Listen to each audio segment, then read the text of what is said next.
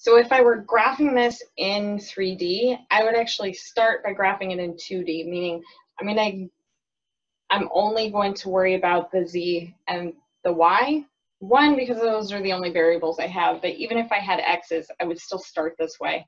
So I'm thinking about uh, graphing this where Z is my vertical axis and Y is my horizontal axis. So I know what this graph looks like. It's an upside down parabola.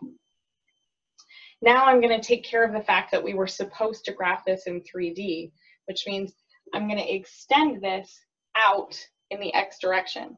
But since I can't actually draw in 3D, we have to give a two-dimensional representation of that. I'm going to think about that x-axis sticking out from the board and think about taking this parabola and repeating it, but further out, or we kind of represent that by further down. And then I'm kind of just going to connect these together and shade in a little bit to give it some depth. Um, let's say that I had, that I was given something like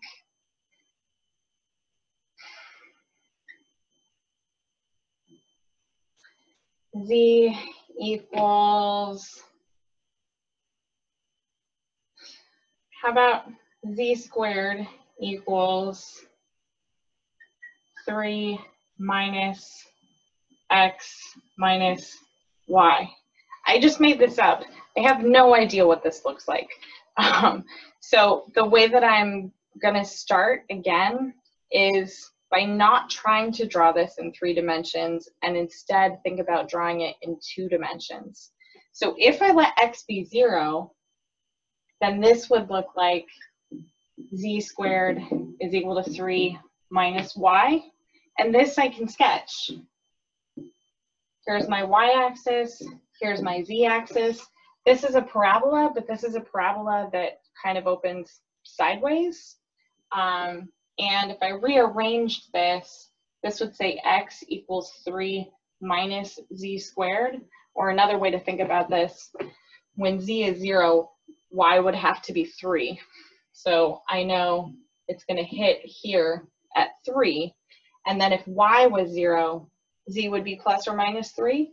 So I'd be somewhere over here, which means that parabola opens this way then I would just think about what would happen. And sometimes we call this a plane trace um, because we're looking at what this graph looks like in the YZ plane.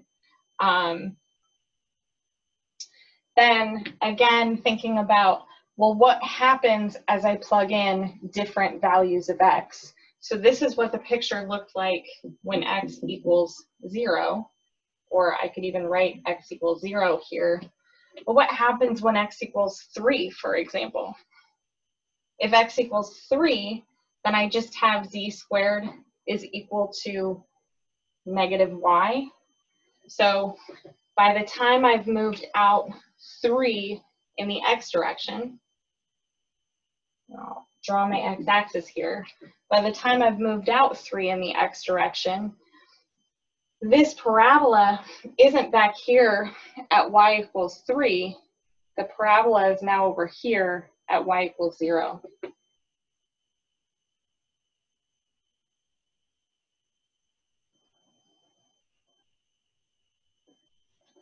And I'll be honest, no one expects you to do a particularly better job than that in terms of graphing in 3D.